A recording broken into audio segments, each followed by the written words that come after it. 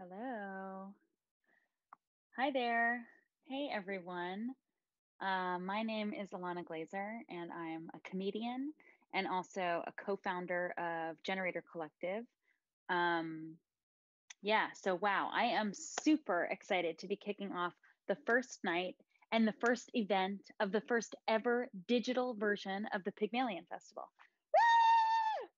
It's weird, you know, I was like, wasn't sure if I was gonna like see a um, audience, but it's like there's no audience to see. It's just us, you and me, in our homes. So strange. Um, I just first want to say thank you to Seth and Vanessa and Ryan and everyone on the Pygmalion team for making this happen. Um, damn, I was just talking to Vanessa and Ryan who are producing this tonight, and it's and and they usually produce the, the live festival. It's such a strange thing um, this year how we've all i mean it's it's our resilient you know whatever resilience is amazing how we can just pivot and make it work.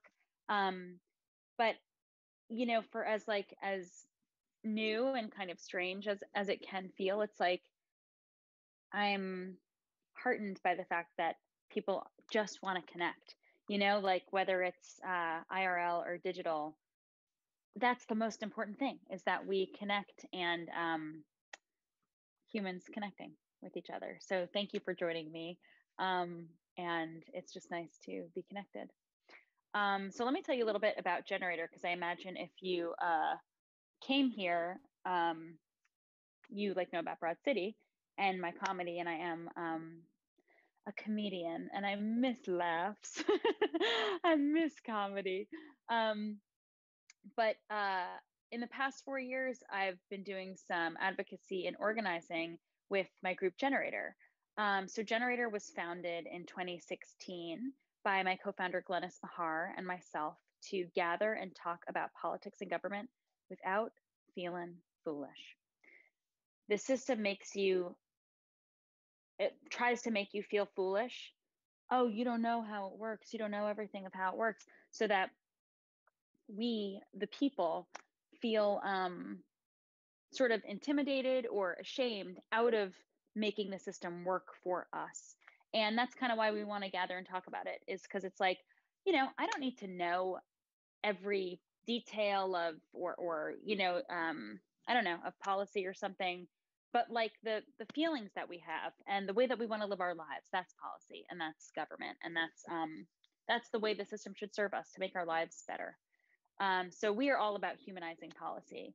And we want to define minimal civic engagement and embody that. Um, you know, in this in our country, it's like people are either fighting for their lives or they don't have, you know, any connection to civic engagement. So we're kind of just trying to raise the bar like an inch off the floor and invite everyone, specifically Gen Z and millennials, to have a new standard for what civic engagement looks like. Um, so generator is uh, multitudinous, not to brag, not to brag just about my vocabulary, and uh, also um, that we are layered, okay, and nuanced and layered. But um, we have a few branches of how we exist. One is as an online movement. Um, we have a simple format to use on Instagram stories just to make it easier for people to use their platform to talk about government and politics. We all have these platforms now. So you know, yes, bikini pick, yes, thoughty pick, but also once in a while, let's hear what you think about the system. Let's hear what your issue is with the system. Um, I'm going to tell you quick. The format is you just say on Instagram stories, your name. I'll do it with a phone. No, no miming. Your name, your location, one thing you love, and one issue you have with the system. I'm sure you have more than one, but just one issue you have with the system. You tag Generator Collective. We repost you on stories, and then we hashtag your issue to the policy that it correlates to, thus humanizing policy in real time. Um, and then we have two IRL components that we've um, pivoted both to COVID safe online versions of.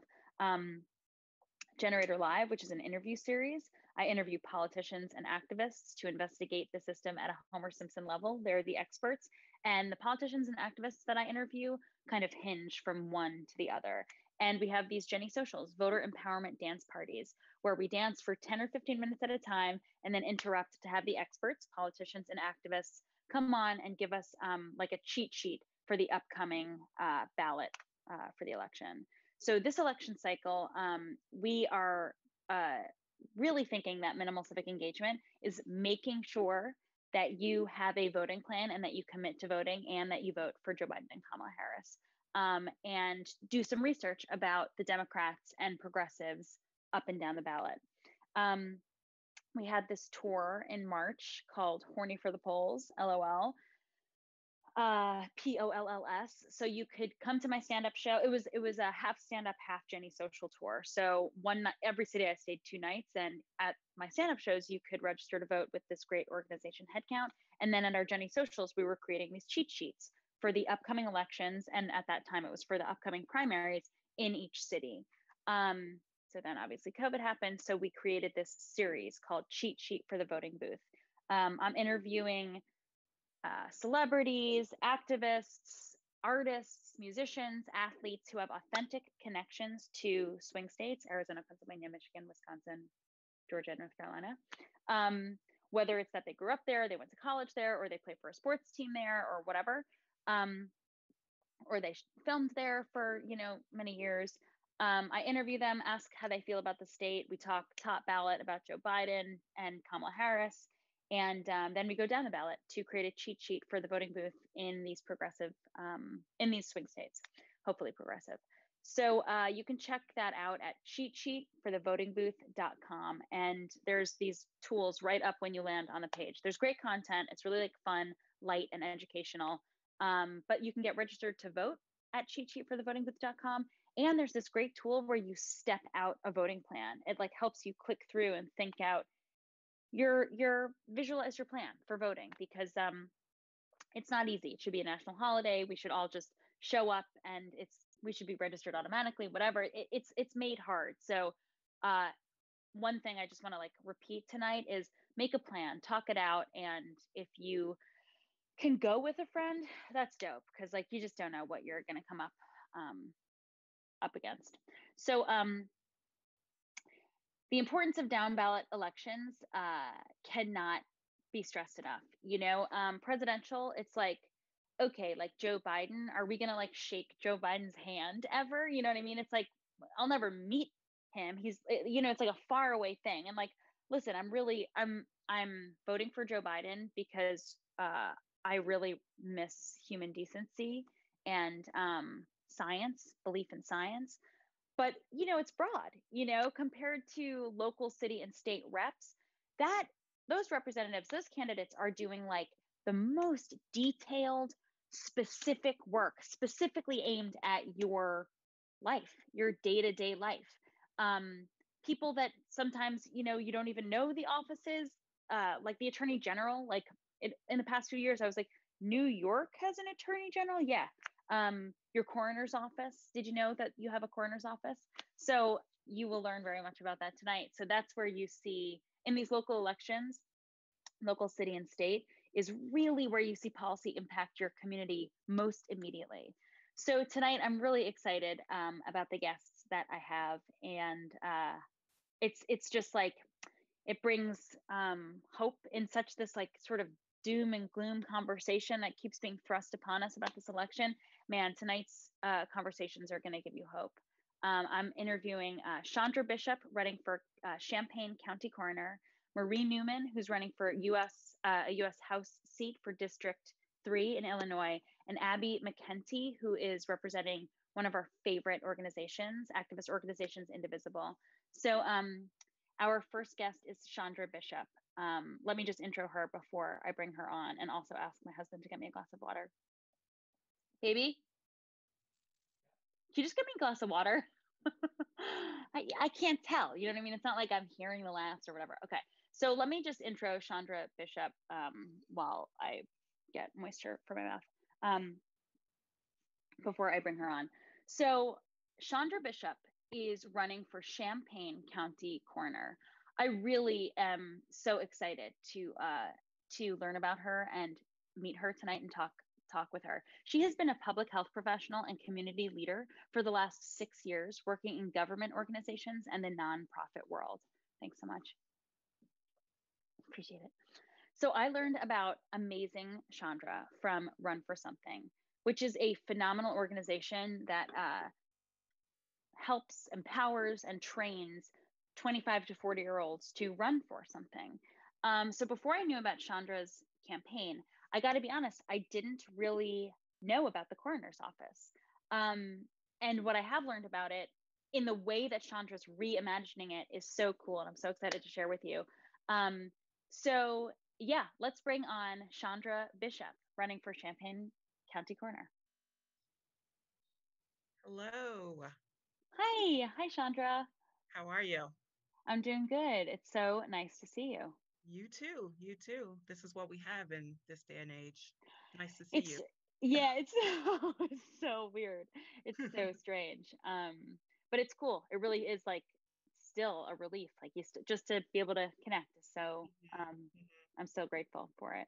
Um, before we get into like the meat and potatoes of this, just how's your day going? Actually, it wasn't too bad. Um, it, we're very close to Friday, so you know, yeah, that's a plus. And yeah. the I went to the dentist and I don't have any cavities, so that's great. Yes, yes. Celebrate with ice cream. Yeah, that's right. And also speaking of like county coroner, teeth are like such like a morbid thing where like I don't know, it makes me feel my age or whatever. So that's really nice that you're just like sort of the same mouth as a year ago. You know, that's excellent. yeah. um so, okay, let me talk about like the little bit that I know about the coroner's office, and then we'll sort of get into how you're seeing it and seeing representing it in a new way. Um, okay. So, a typical coroner's office, as I understand, does three things investigates deaths, issues cremation permits, death certificates, and sort of like the paperwork of death, mm-hmm. you know, um, and talks with families who have lost a loved one to help them figure out kind of what to do with that loved one once they pass away help them complete the the process. Um, is that correct? Yes yes. Um, so first of all i'm wondering what's the difference between a coroner and a medical examiner? So a medical examiner is a doctor essentially a pathologist um, who has that medical degree that medical background whereas a coroner um, may not have that degree that that medical knowledge, but it's, uh, and coroners usually contract out with pathologists to do autopsies and that sort of thing. Got you. Right. So like a coroner, it's not, it's not the medical thing. It's more like the um, legal, the administrative, and also like, mm-hmm. you know, if you can get it in there, the sort of ritual and community aspect of death. Right, right. The investigation, the um, collecting of the evidence, and, and that sort of thing to determine how this person died and was it suspicious and, and that sort of thing.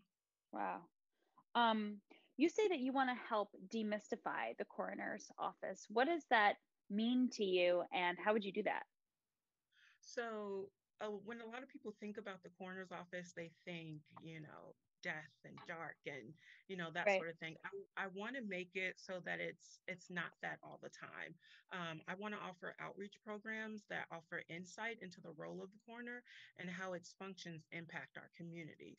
So in addition i want to improve access for people to find information on the investigations into the deaths of their loved ones, um, as well as offer resources they may need to grieve, um, whether that be like you said, um, finding the next, you know, place for their loved one, um, you know, support or counseling they may need if it was a traumatic event, you know, things like that. So this elected position mm. should engage with the community more and not just in the cases of trauma and bereavement.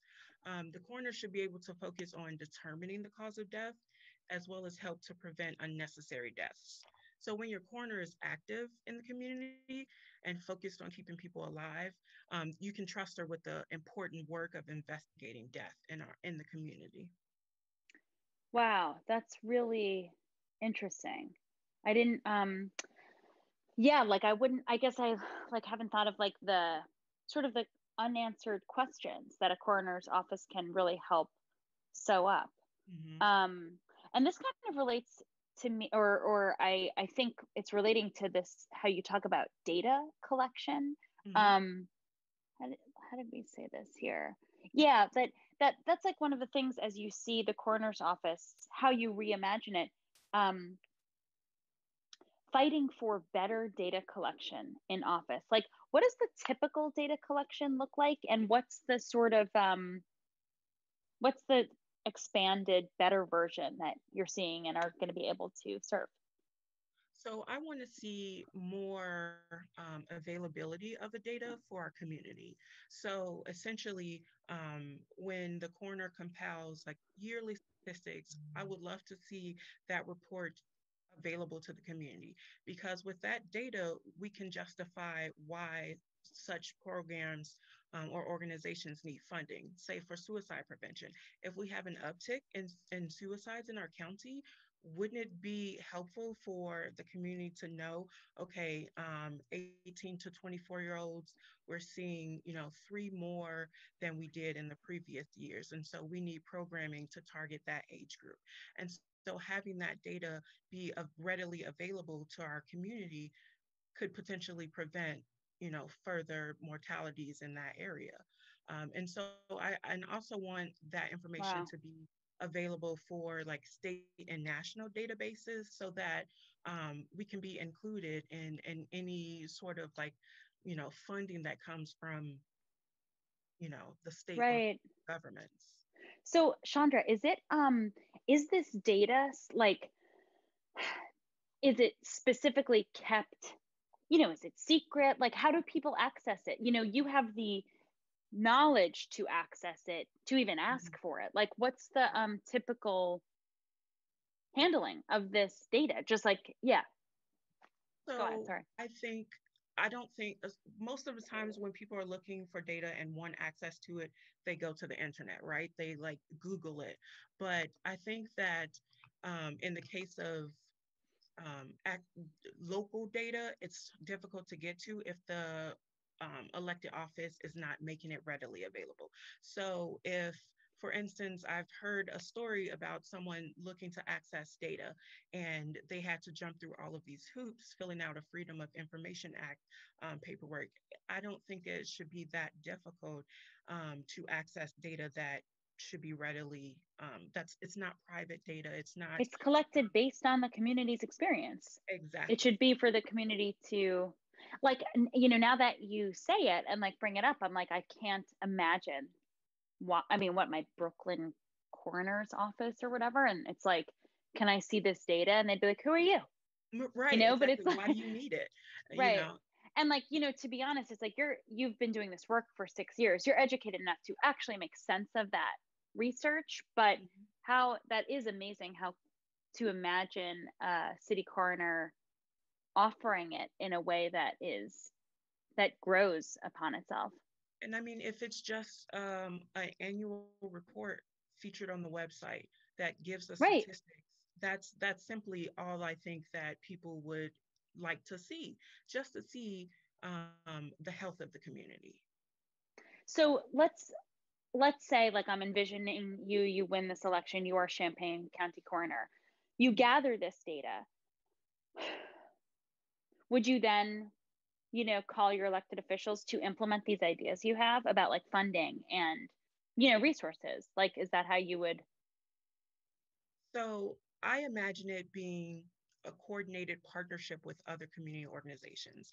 Like I work in public health now, and we offer programs and um, initiatives that target um, different, you know, preventable diseases and conditions and that sort of thing. So why not use that data from the coroner's office to say, okay, public health, we saw um, 54 people die of heart disease in our county last year. What can we do um, more specifically to limit those deaths or those types of deaths. Um, we can, we have a, an entity that focuses on healthy eating and pushing, you know, fresh fruits and vegetables. Maybe we need to target um, this population a little more, start young in the schools, that sort of thing, just a mm-hmm. collaborative effort. My ideas don't necessarily cost a lot of money. Right. It's using, leveraging our resources a little bit more efficiently. Right. It's, I mean, because you're just seeing it as this public health, an extension of public health, the coroner's office. Mm-hmm. Um, it can actually be pivoted toward public health if someone fr- with your background in public right. health knows how to pivot that sort of flow that's already happening. You're just sort of like moving it over there or like widening the stream to encompass this role. Exactly. And bringing more people in, making it um, a community focused office. Right. Yeah. Like, you know, I, it's people are afraid to talk about death. You know, I've been like trying to work on like my plans or whatever for a while. And I'm just like, it's so, I, I'm more avoidant than I really ah, knew and understood. Like, how do you make, how do you open up this conversation about death? And also, like our country, it's like we're so religious and yet we're so atheist and we're, you know, it's like there's just no, um, there's no sort of like common ground for it. So, how would you, how do you see ha- engaging the community in the coroner's office?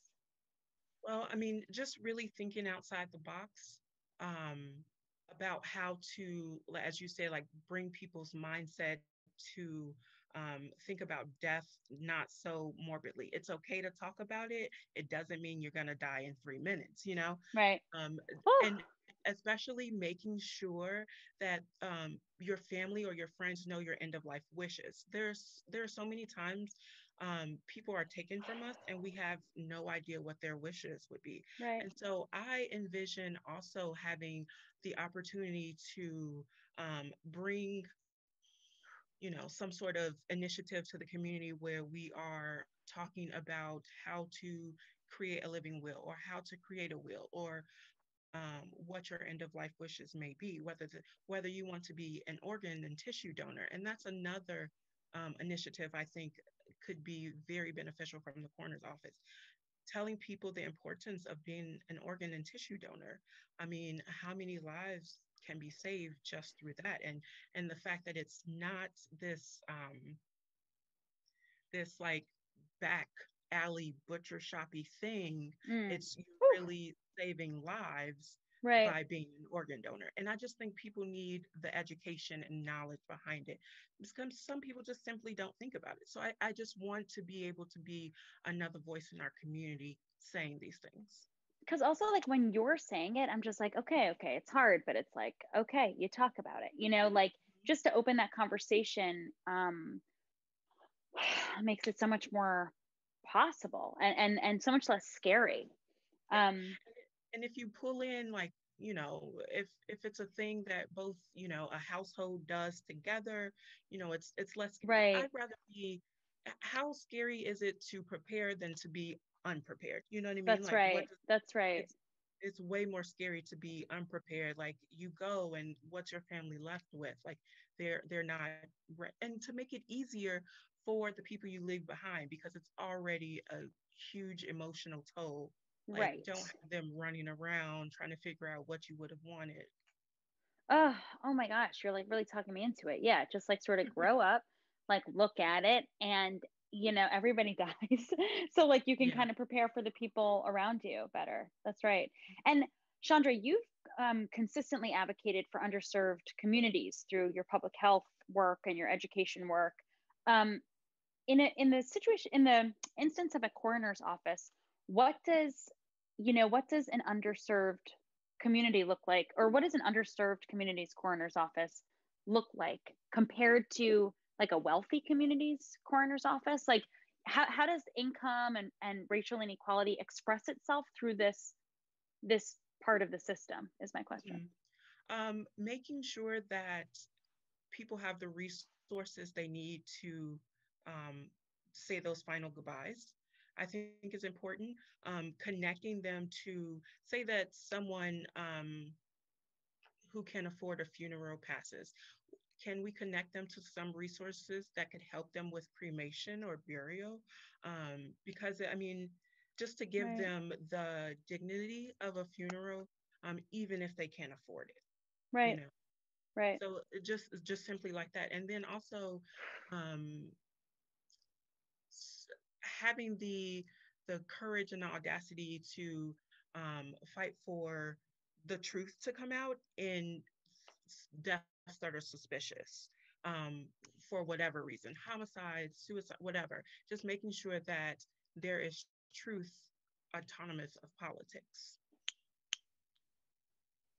um, that is that is so you know, just the thing of the, uh, of like a burial and a funeral being paid for by the community is mm-hmm. uh, radical. It shouldn't be so radical, but that is, uh, wow, I'm blown away by that. Like I never thought of the community paying for it, but it is so, that is so crazy that that's folded into capitalism, like how you get to appreciate someone's death. I mean, it's like, it's so ubiquitous that I didn't think of it as uh, any other way, but there it is.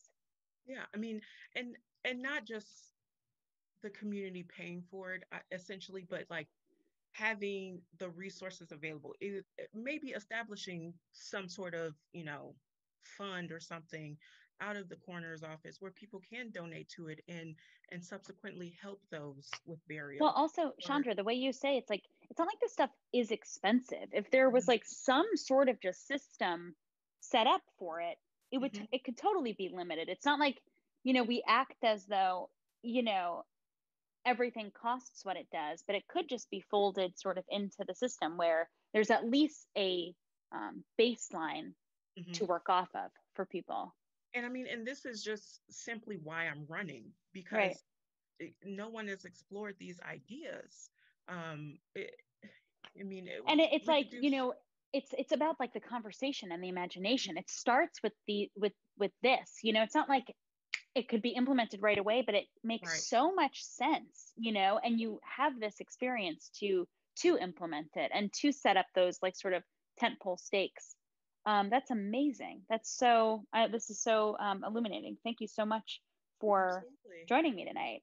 Um, my final question for you chaundra is that i'm wondering how people watching tonight can support you and your campaign um, share my Facebook page, um, Chaundra Bishop for Champaign County Coroner. Um, visit my website to sign up for a phone bank, which can be done from anywhere. Um, and that's how we're reaching voters this year phone banking um, and, and just reaching out digitally to people. Um, and of course, I'm running a grassroots campaign fueled by small donors. Um, so another way to help would be making a donation so that I can continue to get my message out um, and finish this campaign strong. And so to make a donation, you can go to votechaundra.com. Um, and this is a progressive, forward thinking campaign based on community. And I would love your all support. So again, please join me at votechaundra.com. And Chaundra, um, just want to spell it for people C H A U N D R A. That's correct. Yes. Votechaundra.com. yeah, so so beautiful. Thank you so much, Chaundra. Such a pleasure talking to you, and thank you for expanding my mind the way you did tonight. I appreciate thank it. Thank you for giving us this platform to talk about the importance of local elections. Thank you. I appreciate this. My pleasure and my honor. Thank you, Chaundra. Have a good night. You too. Wow, dude, I love Generator because I learn so much about um, the way the world works. I mean, really, it's like the system is just, uh, if you could reimagine it, it's like it could just be so much better and serve the community. Um, in a real way. And also women rule um, and to, to keep with that how um, women leaders rule. And also I, I, don't even mean to be binary about it but i just love it. Um, i just love women leaders. Um, speaking of which my next guest uh, i'm just like talking to the producers not to brag you guys. I'll do this intro first and then um, you can bring marie on in a second. So my next guest is marie newman. Um, as I'm sure a lot of you um, who are probably uh, from the Illinois area watching are probably aware, but I'm just learning about her um, in the past couple weeks and am so excited to learn about her, just like Chaundra. Um, Marie Newman ran in 2018 against an incumbent whose family had been holding Illinois' third district for like almost 40 years. I'm like, family? Like it, it's just so weird in politics how like a family can take over office. It's just bizarre to me. Um, so in 2018, uh, Marie ran against this race and lost this race. She lost against this dude. He was one of the most conservative Democrats in Congress. Bizarre to see his policies and be like, why are you even a Democrat? Um, so Marie ran against him in 2018 and she lost by very tight, very narrow margins. So Marie does not get got. She is not gotten down by this. She says, okay, cool. I'm just going to run again in 2020. So guess what? Marie Newman won her primary against this incumbent. He had been in the seat 15 years before his like family had it for decades. So she won her primary, won her primary against uh, whatever, this dude in this family for Illinois' third district. So now Marie is in the seat in uh, Illinois 3 to run against this Republican. She is supported by all of the faves of the progressive movement. Seriously, Senator Elizabeth Warren, Senator Bernie Sanders, Congresswoman Alexandria Ocasio Cortez. Hello. Okay, I hear that if Newman is elected, she's legit going to be in the squad. Okay. So um, Marie is running on a platform of addressing everybody's everyday uh, and is advocating for progressive causes to drive innovation and invest in people. She wants to build infrastructure, mass transportation, jobs, and grow a green economy. Pairs the need for jobs with the need for a green economy. So give it up, clap in your homes alone for Marie Newman.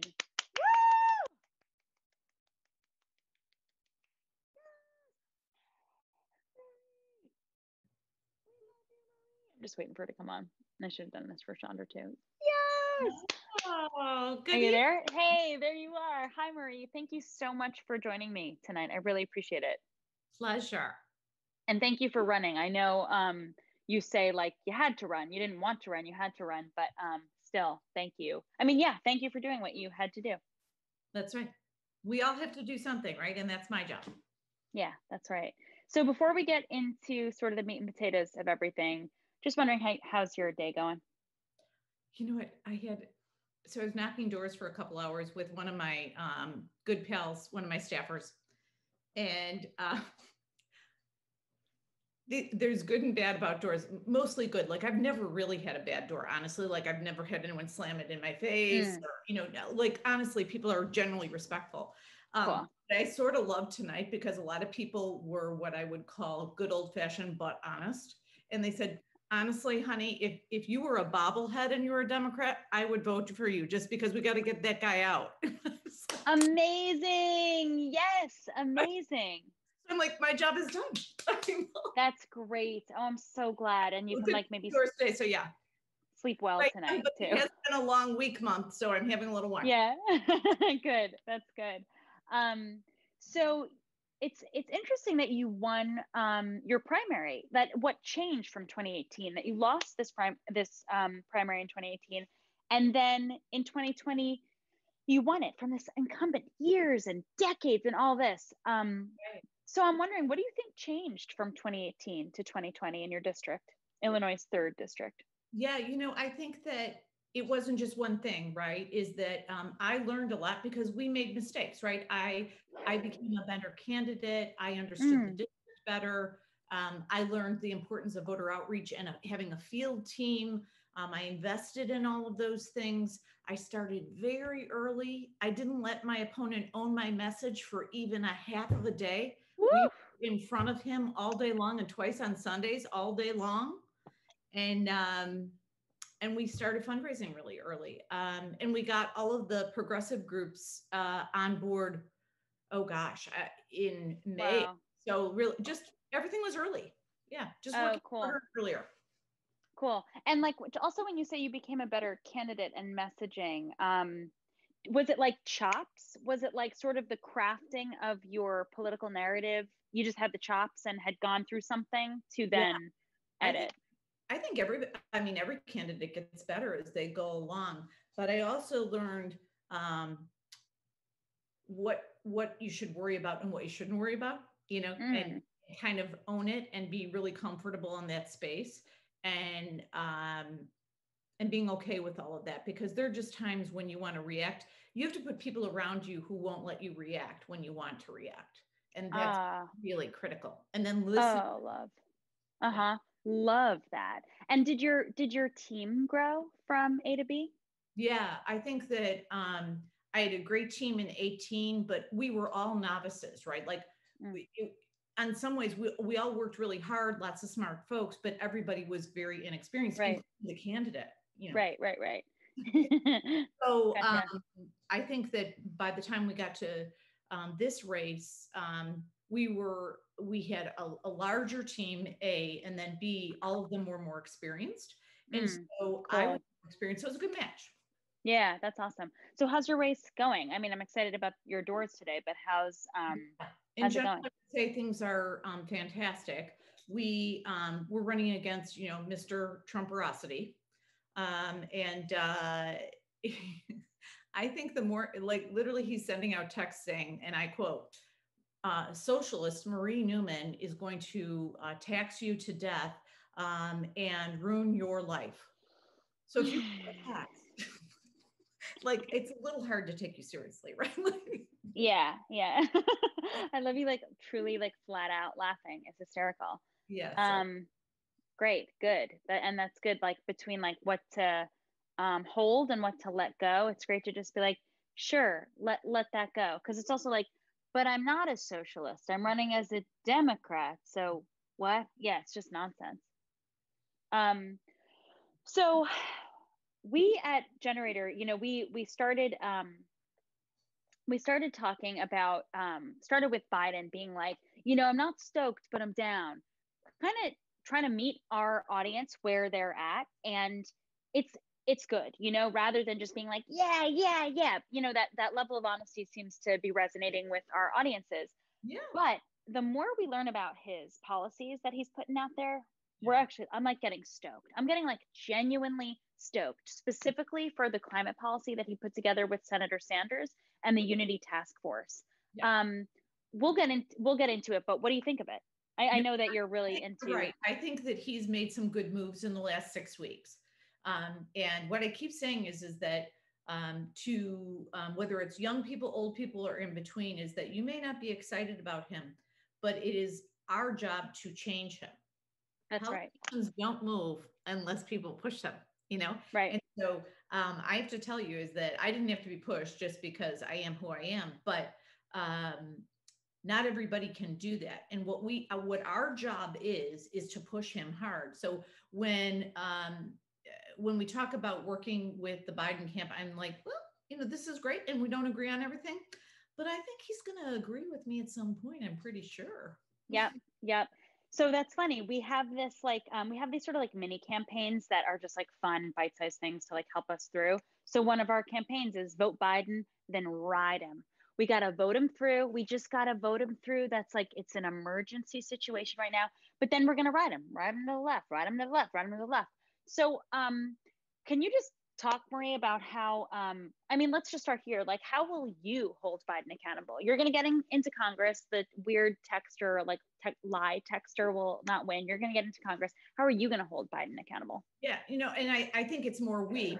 Certainly, I'm not going to be having a lot of one on one meetings with him. I can tell you that. Uh-huh. cool. I, think that I think we can hold him accountable and just be clear that, you know, your green stimulus package, Joe, awesome. We think we can make it better and we can push it a little harder, but really good start, like awesome start, right? Um, your um, decision to only uh, build back the ACA, which honestly, and let's just all be clear, you can't, you can't fix the ACA. It's the Republicans have shredded it into bits. It is not retrievable. Um, and they'll never allow a true public option. And when people say, oh, but we can have Medicare for all who want it, well, that's what we have right now. That's really what we have right now. So this isn't working. So inaction is very expensive. When there's no solution or a half solution, it actually always ends up being more expensive than a hmm. solution. Mm-hmm. So what I say is Medicare for All is an existing program we make bigger and more robust and roll it out in a measured way so that it's ready for market, right? Um, I'm a former management consultant, so I like all of that nerdy stuff, right? So with that, what we do is tell Biden, it's like, okay, you take him to phase one with you, like grab his hand and say, we can do right, this right. together, right? We can make Medicare better and we can uh, get it to folks that are 50 plus, vulnerable and um, not doing well. And then we can get it to everybody else. You can do this. Come on, Joe. You can do right, it. Right. So, so that's an example. Yeah. So, um, and and how do you, you know, does it help how do you tell your constituents to hold you accountable? Yeah, so we are doing something. So I'm big on um, measurement in my life, and I don't mean in competitive or that I have better hair or I have cooler clothes. It is a, I, I just have goals, right? Like so, um, whenever I have a goal, I like to know where I'm at against that goal. So I'm going to have uh, quarterly. I see you have an I an iWatch, right? You must like count your steps or whatever. Duh, duh. Oh yeah, yeah, cool. and I like little competition with my so yeah. Um, I, you may so um, your audience may not know so not know Friends, the, the show Friends. Monica yeah. was. Oh yeah. So my husband will say that I'm like Monica times seven uh, when it oh comes oh to competitiveness. So problem in my life. Um, so, uh, but in terms of uh, an accountability report, we're going to do a quarterly accountability report so people can say, okay, transportation authorization bill, uh, check. She she voted the right way. How far along in the journeys did she tell us that it was moving and it's not? Is it moving? You know those types. So if we do that, then um, I can say, hey, I'm I'm not getting as much done as I want, but this is what's getting done. This is what we have to do moving forward. And then people are just really clear on where things are at because half of this is people have no idea what's going on. And that's ridiculous. They should know at all times what what bills are moving through the house, what effect I can have, if any, um, mm-hmm. and if I should have more effect. Um, so as an example, I want to be on transportation and infrastructure and small business. Those are two things that I am really passionate about. Very important in my district, very important. Um, and they're going to know what my ideas are all the time. And I'm also going to ask them, what do you think of these ideas? Because I'm yeah. with you. I'm not. I'm not the only one in this mix. There's 730,000 souls in my district. I mm. want to know what you want to know. So, okay, so I want to ask you more about that and your specific policies because you have them um, like laid out so tight. But this report that you're saying, like, would that just be like on your website and people can go to their congressperson's and website and there it is? You know, I do an e-letter and then probably uh, do figure out how to brand it in a way on social media where it is digestible. You know, where it's uh-huh. not.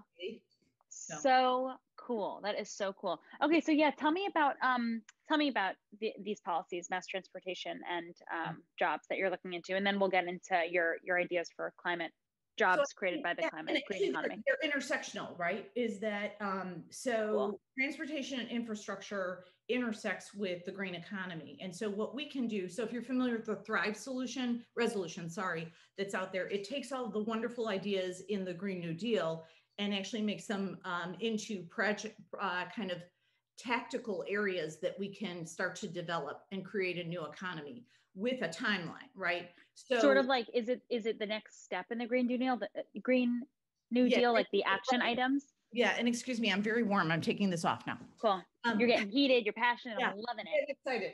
I'm um, also like I'm like moving around. I'm like yeah, so yeah. So um, with the Thrive resolution, what that allows us to do is now convert it into an objective, a strategy, tactics, budget, timing, mm. and then we can apply it, which is the spirit of the Green New Deal, not unlike the original New Deal. In the Midwest, you're going to get this chunk of money for these projects, and we're going to prioritize greenifying, detoxifying buildings. So, something mm. 40% of our carbon footprint and the uh, toxins are related to building um, toxicity. So let's prioritize that. And then next, let's start making our transportation systems very energy efficient and safe. And let's then apply all of the issues we've learned in the pandemic and make it safe for people. Mm-hmm. All of that are projects that make jobs and require workforce training um, and are apply, right. to the entire nation. Mm. So how do you see that? How do you see um, how do you see it like rolling out in Illinois and in Illinois' third district? And I'm also yeah. like wondering how you fight for this. Let's say like the thrive resolution how you fight for this in your district versus with your state. Do you just go state down and then it's like you know you disseminate the information to your district or is it particular to illinois 3 yeah how you would do it. there's two streams you need to look at. So the thrive resolution obviously would be uh, federal money which would be part of a stimulus package. So there's cool. called the moving forward act which is a reauthorization act of surface transportation that happens every 10 years we're going to get that puppy through really fast in January or February. That'll be done. On top of that, it's like the next layer of the cake, right? And so that will be the stimulus package that has um, this mm. uh, green stimulus, um, all of these green stimulus ideas attached to it with transportation and aging infrastructure. So it makes our infrastructure cleaner, stronger, better.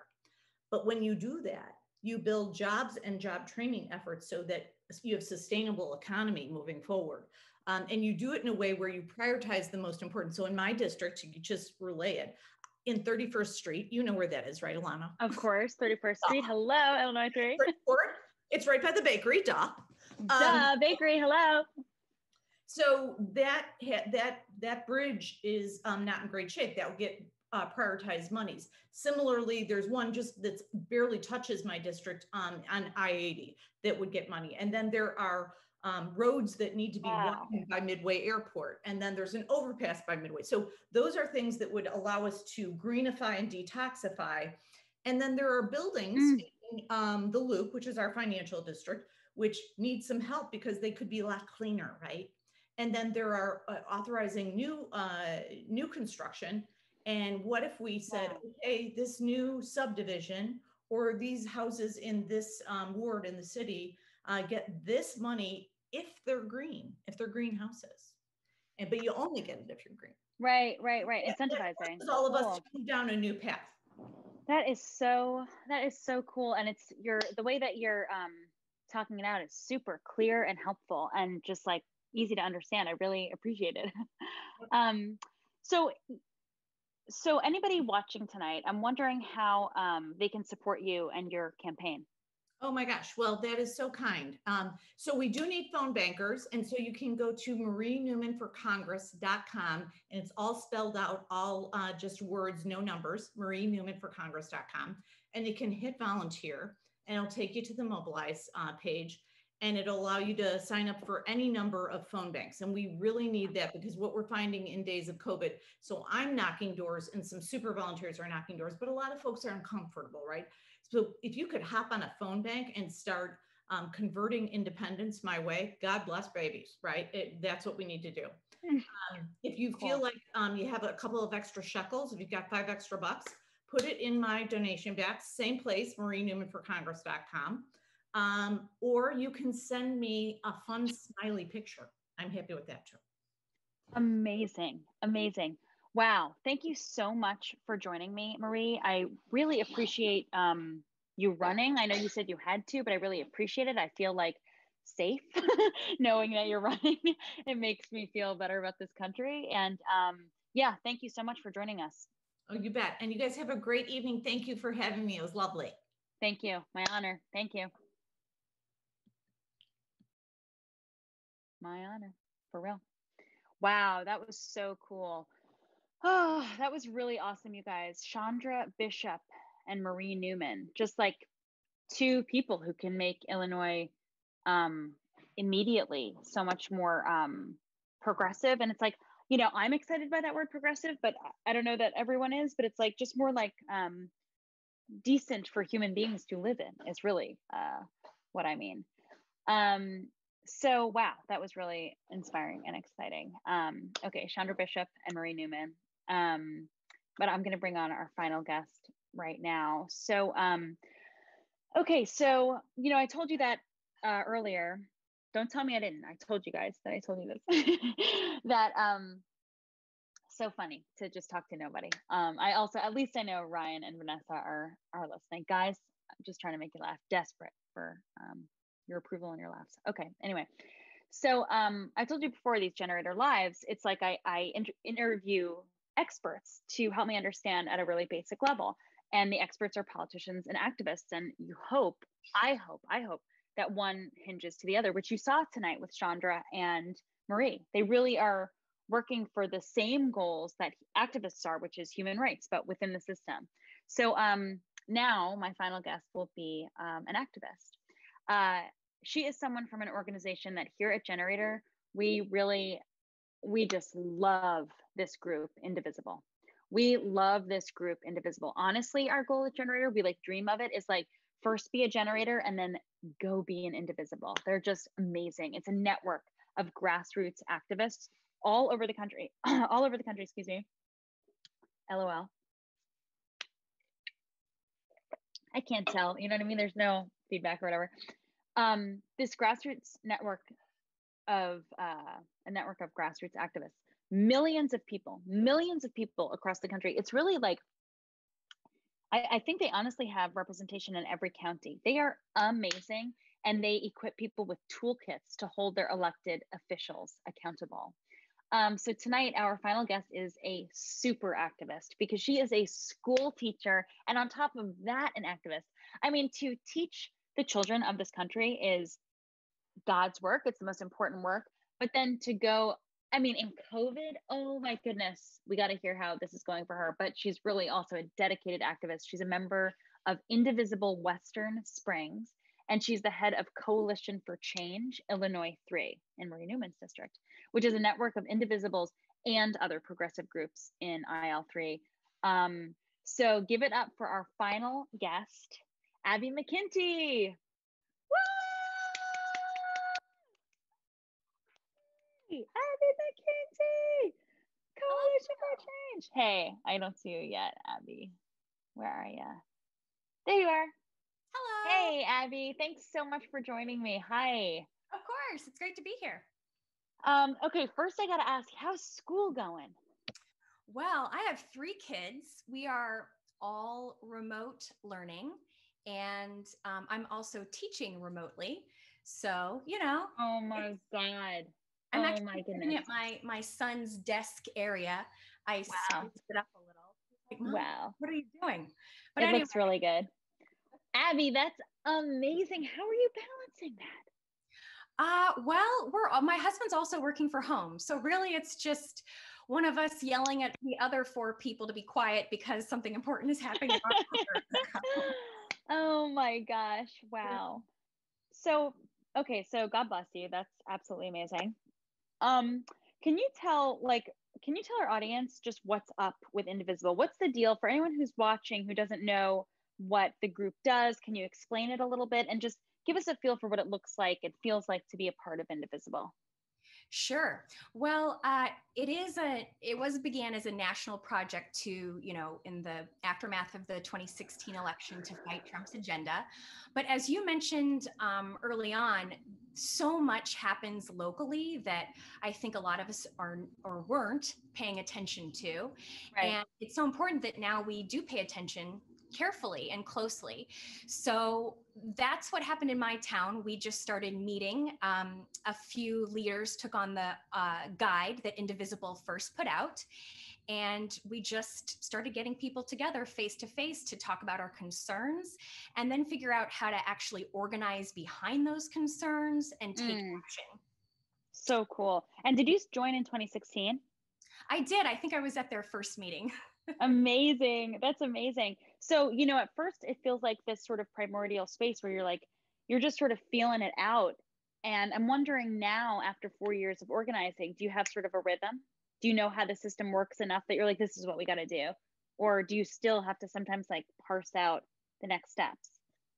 Well, it's very much a marathon. And I think um, we all have to be aware of that. So, one thing that I think right. is important is that the passions of the individuals that make up the group really keep the drive going.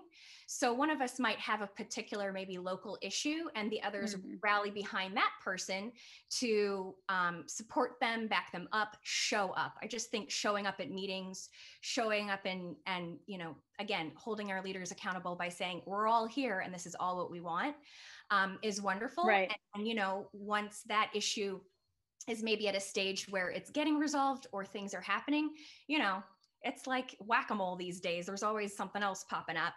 But yeah. again, because we have a number of leaders who are all engaged and all sort of have particular interests, it's a way right. to kind of avoid burnout. Right. It kind of like must balance the rhythm of it where somebody takes the lead on like, oh, I'm so, yeah, I'm so passionate about this. And then it's like, okay, then you lead this. Cool.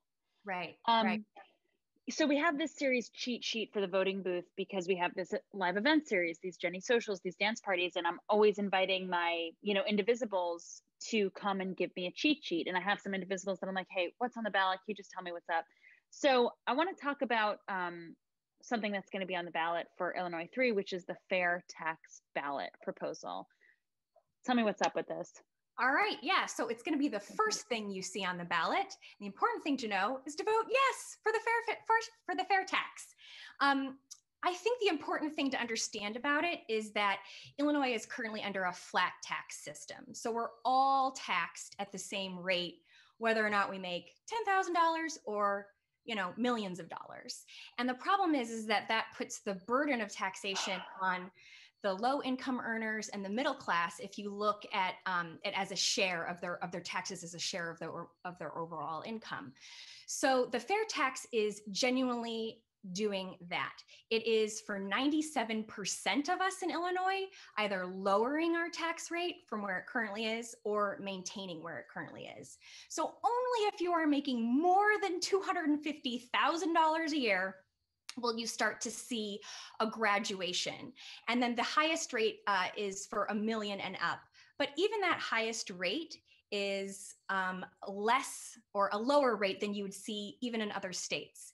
So there's a lot of fear mongering of, oh, all the rich people are going to leave and things like that. And it's like, really? Well, Iowa would tax them at a higher rate. So would Minnesota, et cetera. So again, for 97% of us, this is actually going to be helpful to our families, um, for you know all the other all the other things we need to use our money for right now.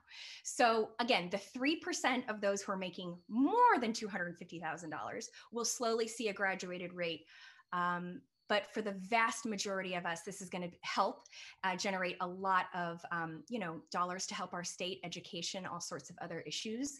And um, it really then allows those who are at the very top to pay their fair share. And help you live. Uh, thanks, Ryan. And just help you live like you just need i, I mean it's it's it's uh, so i just want to repeat so fair tax proposal yeah you want a fair tax so yes you want a fair tax and also i'm sure indivisible western springs on your instagram it's like all laid out and just the answer is yes and it's just to the point of like everyone's gonna leave they say that about new york and it's like well let's take the billionaires money and and then they'll leave but also no they're not there's yeah. one Iowa, there, there's one Illinois, there's one New York. You know what I mean? People are just they're not going to leave. They're they're too rich to honestly care either way. Yeah, 32 states already do it this way. So we're just joining the team. Amazing, amazing. So um Abby, what can someone do if they want to get involved in these last crucial 40 days? How can they reach out to you, reach out to Indivisible Western Springs or Coalition um, for Change? What, what can they do? Sure. Well, I think um, Indivisible and Murray are sort of honing on what really is important right now. Again, we can't knock doors because uh, we're not doing that right now. But the the bonus of that is that with phone banking, you can reach much further than your neighborhood.